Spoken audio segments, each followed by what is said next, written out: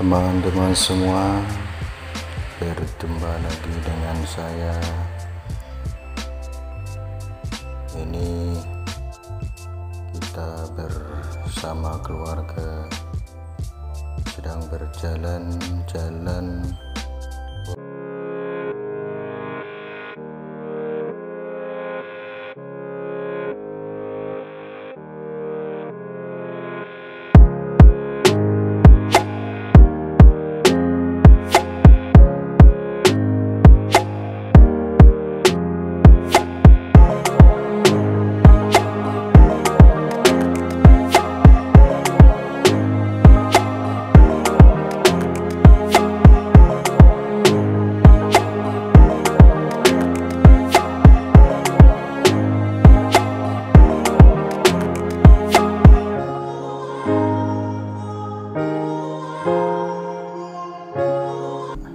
Hafiza Yulfa Rohalia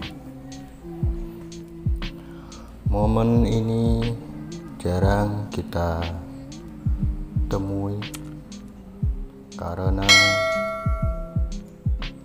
waktu libur yang tidak bersamaan antara Deavis dan Kak Hafiza Yulfa Rohalia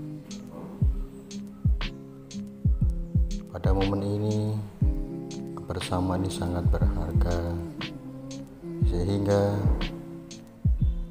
kami mengadakan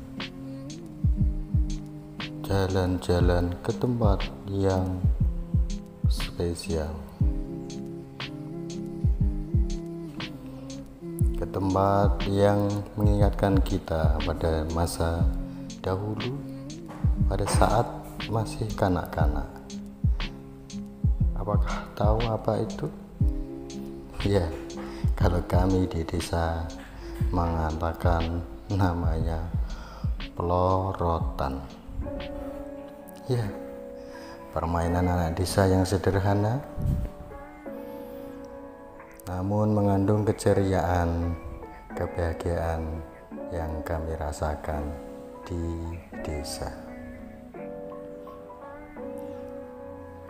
Pada tempat ini, tempatnya di Semilir, Kampung Semilir, Dusun Semilir, mengadakan wahana yang ya terkesan mengingatkan kita pada zaman dahulu tentang permainan anak-anak desa yang namanya lorotan. Sekalian uji nyali untuk Dek Hafiz dan Kak Zulfa dengan ketinggian 30 meter. Kemudian dalam kemiringan tertentu dengan alat seperti perahu kecil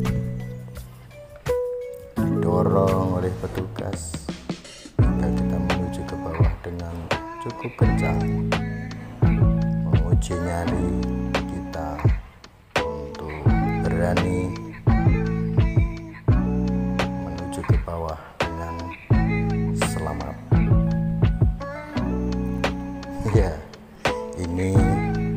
permainan zaman dulu yang dikemas kekiniannya di dusun Semilir Semarang. Sempat bertanya adik Hafiz Bu nanti kalau jatuh gimana? Nanti kalau iya berguling gimana? Lalu bertanya kekhawatiran ditanyakan oleh Hafiz dengan alat yang sederhana seperti ember memanjang begitu ya seperti perahu kecil. Kakaknya bilang tenang di ini sudah banyak sekali pengamanan banyak sekali uh, sebelumnya yang tidak ada apa-apa biasa-biasa saja. Hilangkan kekhawatiranmu bilang si dengan sedikit ragu dengan melihat teman-teman sebelumnya yang sudah turun. Nah dengan itu tetap berani tetap semangat tetap syarat pegangan yang kuat dengan syarat wow nikmati sensasi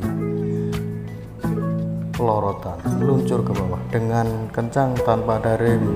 Se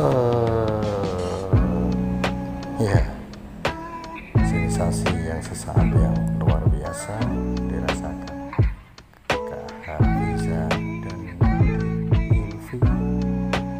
senang. Kekhawatiran tiada. Kekhawatiran hanyalah pikiran yang ya kadang-kadang muncul ketika belum melakukan sesuatu pekerjaan. Tapi setelah dicoba dengan perhatikan keamanan dan pengalaman yang lain ha, semuanya itu sirna tetap semangat di Hafiz. Sekian. Intinya berani mencoba. Khawatir pasti ada tapi dengan syarat dan ketentuan dengan persiapan kekhawatiran akan sirna dengan sendirinya. Kekhawatiran wajar tapi mencoba harus dan wajib. Untuk itu tetap berani dengan tantangan walaupun kekhawatiran dan insya Allah akan sirna dengan sendirinya. Terima kasih. Assalamualaikum warahmatullahi wabarakatuh